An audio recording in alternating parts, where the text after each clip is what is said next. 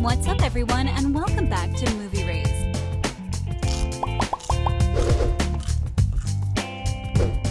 Released in 2017 by Disney and Pixar Animation Studios, Coco is one of the most beloved animated films Disney has ever produced.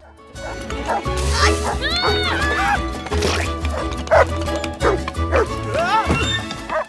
Film tells the heartwarming story of a young boy named Miguel who dreams of becoming a musician like his idol, Ernesto de la Cruz. Coco explores themes of family, love, and remembrance and celebrates Mexican culture and traditions, particularly the Day of the Dead holiday. Right after its release, the movie was put in the line for a sequel which was set to be released in 2020. Did Disney ever make an official announcement regarding a sequence? Here is everything you need to know about the upcoming or probably upcoming Coco 2 movie. Starting from its release date to its cast and expected storyline, don't forget to watch this video till the end to know every detail.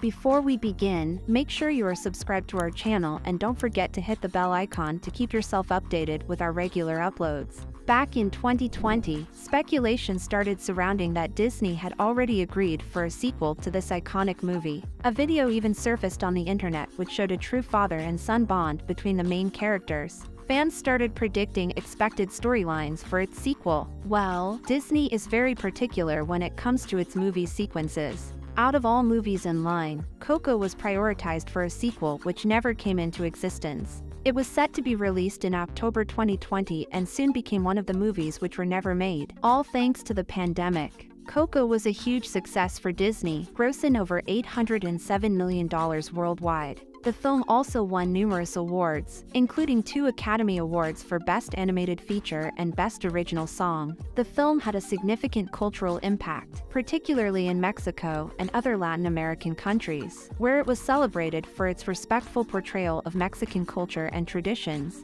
It also had a successful merchandise line, with toys, clothing, and other products featuring the film's characters. The film's soundtrack, which featured original songs and traditional Mexican music, reached number one on the Billboard soundtrack chart and was certified platinum in the United States. With its stunning animation, beautiful music, and powerful storytelling, Coco quickly became a critical and commercial success. The film won two Academy Awards for Best Animated Feature and Best Original Song and was praised for its respectful portrayal of Mexican culture and traditions. It has also inspired numerous art installations, museum exhibitions, and cultural festivals worldwide. Given the success of the film, many fans are eagerly anticipating a sequel to Coco. While there has been no official announcement from Disney and Pixar, director Lee Unkrich has hinted that he would be open to returning to the world of Coco for a sequel. He has stated that there are many other aspects of Mexican culture that he would love to explore in a potential sequel.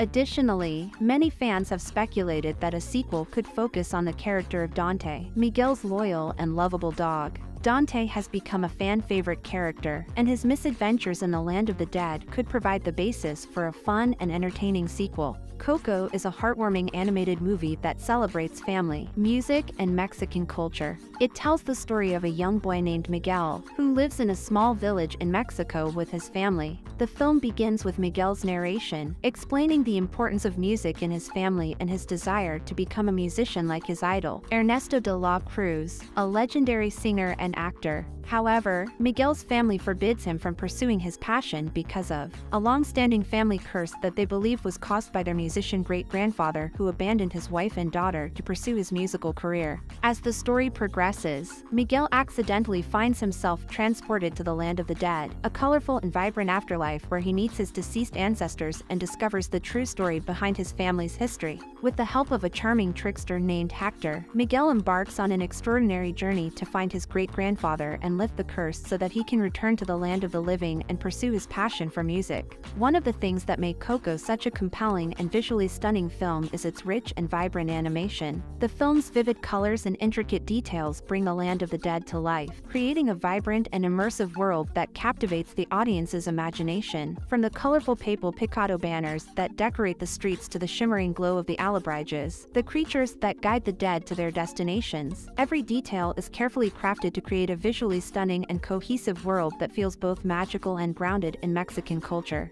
Another thing that sets Coco apart is its music. The film features an original score by Michael Giacchino, as well as original songs by Germaine Franco, Adrian Molina, and Robert Lopez. The music in Coco is an essential part of the film's storytelling, and it blends seamlessly with the animation and voice acting to create a powerful emotional impact. The film's signature song, Remember Me, is a beautiful and haunting ballad that captures the heart of the film's themes of love, loss, and remembrance. But perhaps the most important thing about Coco is the way it celebrates Mexican culture and family traditions. The film takes great care to showcase the beauty and richness of Mexican culture, from the colorful Day of the Dead celebrations to the traditional music and food. The film also addresses the importance of family and the power of love and remembrance. Through Miguel's journey, the audience sees how the past shapes the present and how family connections transcend time and space. The film's portrayal of Mexican culture and traditions is a significant departure from typical Hollywood depictions of Latin American countries, which often rely on stereotypes and tropes.